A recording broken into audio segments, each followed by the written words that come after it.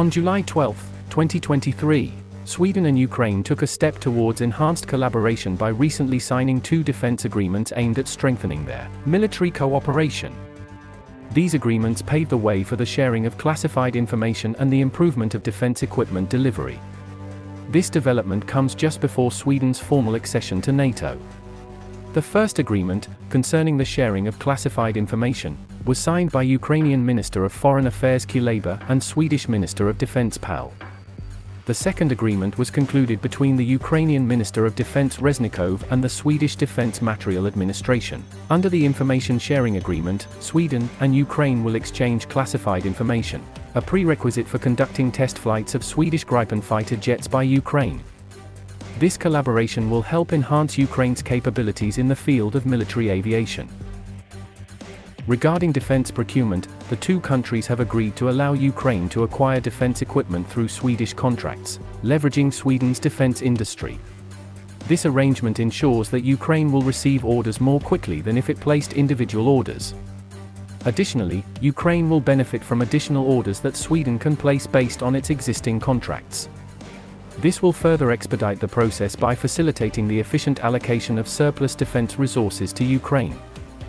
However, the specific weapons and ammunition involved in this exchange have not yet been disclosed.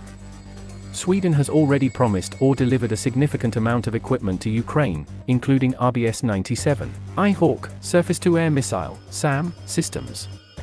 These systems are crucial for enhancing Ukraine's ability to defend against aerial threats.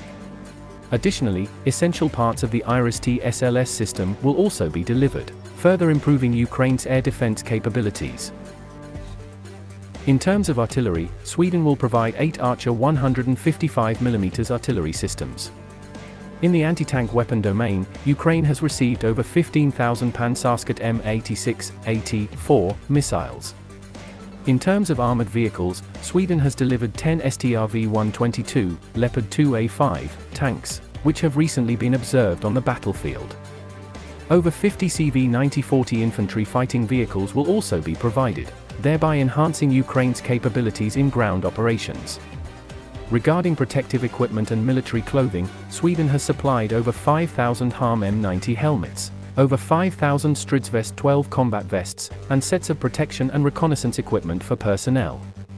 Additionally, AlphaTec chemical protection suits, respirators, and demining equipment have also been provided. It is worth noting that Sweden also plays an active role in training Ukrainian soldiers.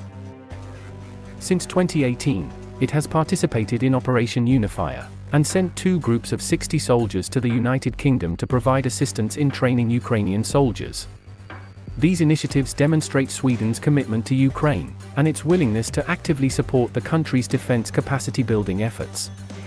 Both agreements are valid until further notice and could extend beyond the conflict period, thus contributing to post war reconstruction efforts in Ukraine. This collaboration marks an important milestone in the strategic partnership between Sweden and Ukraine.